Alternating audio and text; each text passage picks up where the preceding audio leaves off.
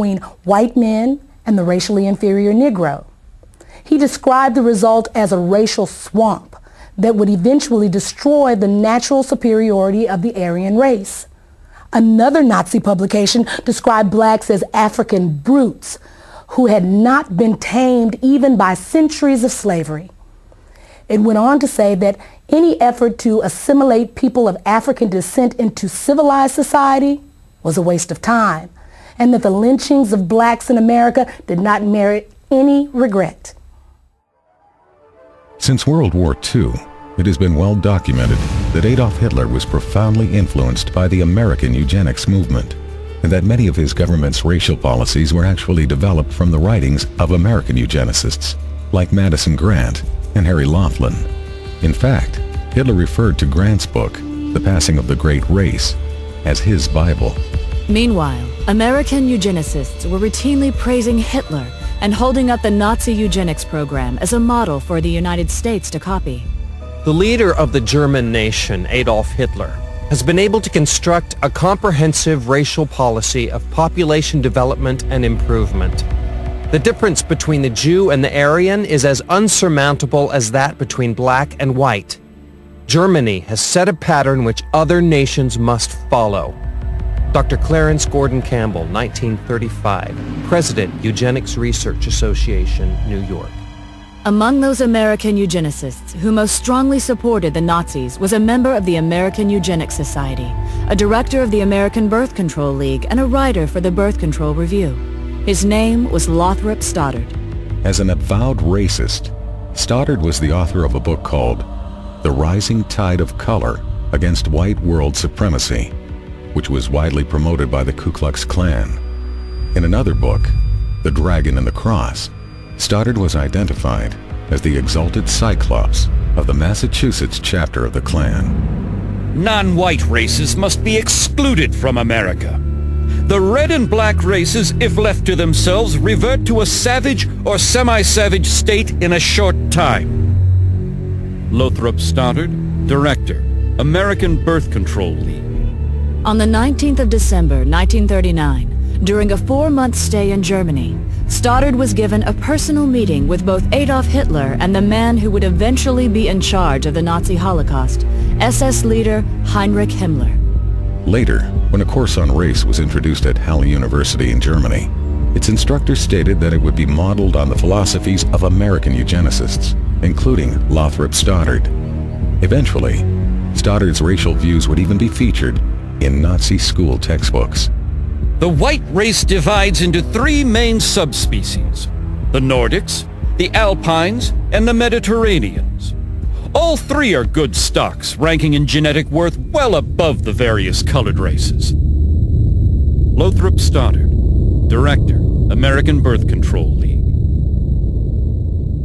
To eliminate blacks from Germany, one of the people Hitler called on was a eugenicist who had once written that blacks are an inferior race of savages who should only be allowed to survive as long as they are of use to the Aryan race. His name was Eugen Fischer. And about 20 years earlier, he had been one of the leaders of a system of concentration camps in southwestern Africa, where blacks were rounded up to be executed, experimented on, or held as free labor. Under Hitler, Fischer would serve on committees that planned the sterilization of all blacks in countries that came under German control. He would also be one of the first Nazi scientists to become publicly affiliated with the Carnegie-funded eugenics laboratory in Cold Spring Harbor, New York. Eventually, Fischer would also be put in charge of the Kaiser Wilhelm Institute, which was funded by the Rockefeller Foundation. It was here that many of the Nazi programs for creating racial purity were developed. In 1927, Margaret Sanger organized the World Population Conference in Geneva, Switzerland, and gave it front-page coverage in her birth control review.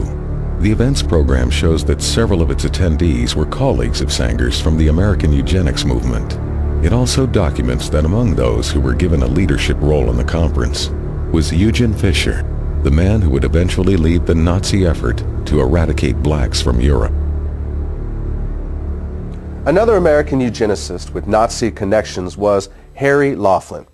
Now, he was an official with both the American Eugenics Society and the American Birth Control League, and in 1928 his plan for using forced sterilization to eliminate those who might produce what he called degenerate offspring was published in the Birth Control Review. In 1936, Laughlin led an effort to distribute the English language version of a Nazi eugenics film to audiences in the northeastern part of the United States. He had acquired the rights to the film from the Race Policy Office of the Nazi Party and, with the help of two other American eugenics organizations, had mailed literature to biology teachers at 3,000 U.S. high schools, urging them to show it in their classrooms.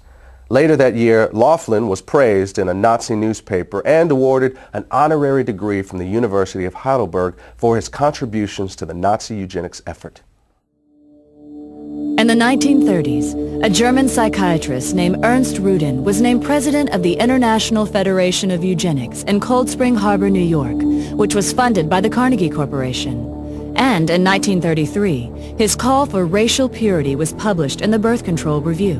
Later, Rudin would be chosen by Hitler to write Germany's eugenics laws. And at one point, he personally helped the Gestapo round up and sterilize several hundred blacks, who they referred to as Rhineland bastards. After the war, Rudin would be identified as one of the architects of the barbaric medical experiments that the Nazis carried out in their concentration camps. It may be possible that Hitler actually got the idea for concentration camps while studying the American eugenics movement. In 1919, the state of Indiana had allocated $300,000 to create a work colony in the city of Butlerville, where those who were labeled feeble-minded would be incarcerated. Then in 1932, Margaret Sanger called for the United States government to set aside farms and open spaces where certain groups of people would be segregated from the rest of society. She proposed that, among others, the illiterate, the unemployed, and the poor should be forcibly kept in these areas until they developed what she called better moral conduct.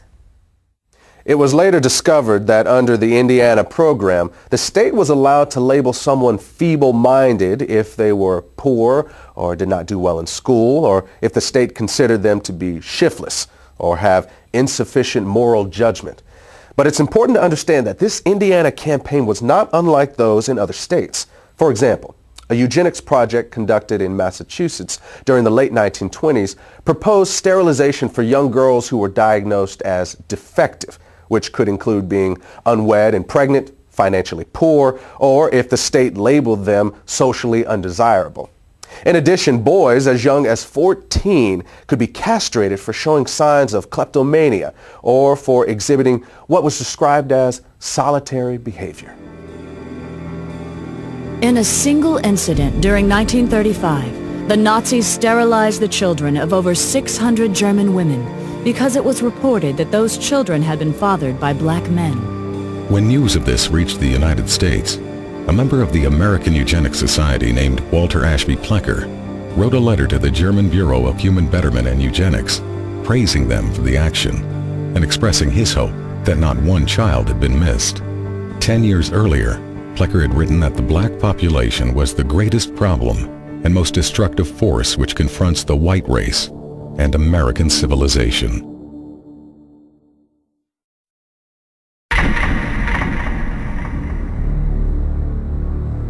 Eugenics goals are most likely attained under a name other than eugenics. Frederick Osborn, President and founding member of the American Eugenics Society.